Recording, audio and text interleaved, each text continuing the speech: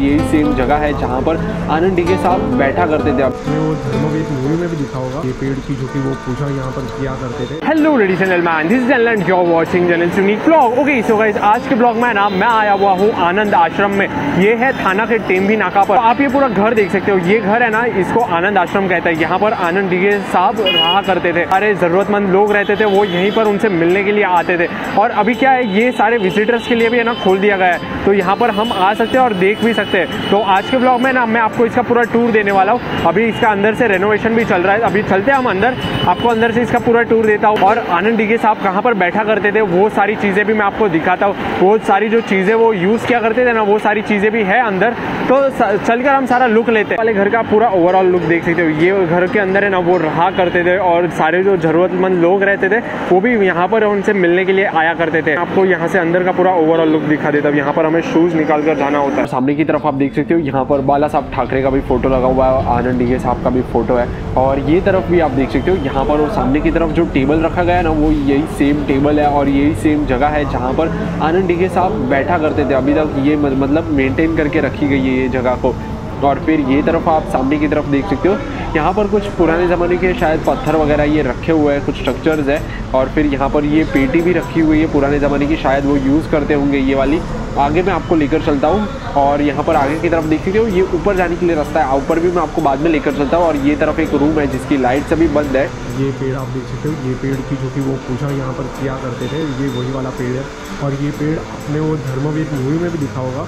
Of course लेकिन वो तो आर्टिफिशियल था, लेकिन वो ऐसा पेड़ है ना, वो असली में है यहाँ पर, उनके घर के अंदर ही। ये तरफ़ आप देख सकते हो, यहाँ पर ये है, ये वॉशरूम का एरिया है यहाँ पर, ये तो आप दरवाज़ा देख सकते हो, एकदम पुराने ज़माने टाइप का है। और ये तरफ़ मैं आपको ये रूम के अंदर लेकर चलता हूँ और ये रूम के अंदर का लुक ले लेते हैं हम एक बार। ये वाले रूम में आप देख सकते हो, अभी यहाँ पर है ना रेनोवेशन का काम चल रहा है, शायद फर्नीचर वगैरह चेंज हो रहा है। हम चलते हैं आगे की तरफ़, यहाँ पर भी आप देख सकते हो, यहाँ पर भी कई सारे रूम्स है। और ये दरवाजे देख सकते हो, सारे ना पुराने ज़माने टाइप के दरवाजे लग रहे हैं यहाँ पर। और ये भी रूम देख सकते हो, यहाँ पर भी शायद फर्नीचर रिप्लेस हो रहे हैं सारे। और यहाँ पर आगे की तरफ़ भी एक रूम बनाया गया है। तो देख सकते हो, कुछ ऐसा ही ये घर का ओवरऑल लुक है अंदर से, जहाँ पर आनंद डिगे साहब रहा करते थे ये घर में। और फिर ये तरफ़ भी एक रूम है, ये रूम के अंदर आप देख सकते हो ये तरफ़ देख सकते हो, यहाँ पर ऐसी ये कुर्सियाँ है, ये शायद से हो सकती है, आनंद डीगे साहब की चेयर हो सकती है ये, और चेयर के ऊपर देख सकते हो, यहाँ पर लायन के फेस लगाए गए तो यार काफ़ी इंटरेस्टिंग है ये वाली चेयर भी। और यहाँ से हम चलते हैं अभी बाहर की तरफ़, ये यहाँ पर भी एक रूम जैसा यहाँ पर बना हुआ है, और यहाँ जहाँ से हमने एंट्री की थी, हम वापस से वहीं आ चुके हैं।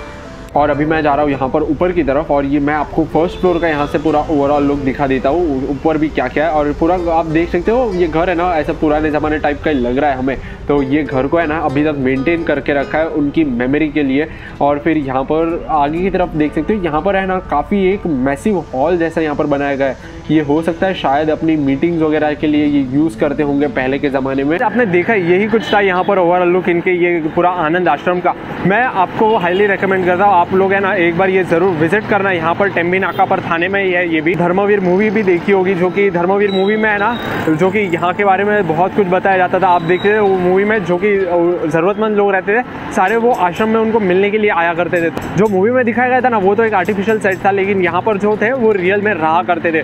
सो कुछ ऐसा ही था यहाँ पर, ये घर का पूरा ओवरऑल लुक आई होप आपको ये ब्लॉग पसंद आया होगा। सो बस गाइज़ ये वाला ब्लॉग भी यहीं पर एंड करते so guys thank you very much for watching this video. If you enjoyed this video, do hit the like button and don't forget to subscribe to my channel and also click the bell icon. So guys, stay safe, spread love and happiness, do whatever you want to do but don't do the wrong things. See you in the next video very soon. Till that time, goodbye.